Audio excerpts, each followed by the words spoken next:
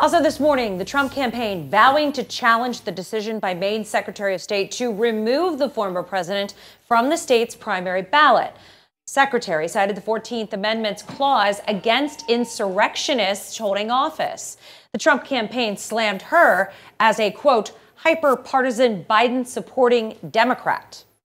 I am mindful that no Secretary of State has ever deprived a presidential candidate of ballot access under Section 3 of the 14th Amendment. Last week, Colorado's Supreme Court also removed Trump from its primary ballot, also citing Section 3 of the 14th Amendment, which disqualifies a person who has engaged in insurrection from holding office. Now, both states have put their decisions on hold temporarily pending appeal, and overnight, California's Secretary of State declined demands to remove the former president from its primary ballot. Well, if this was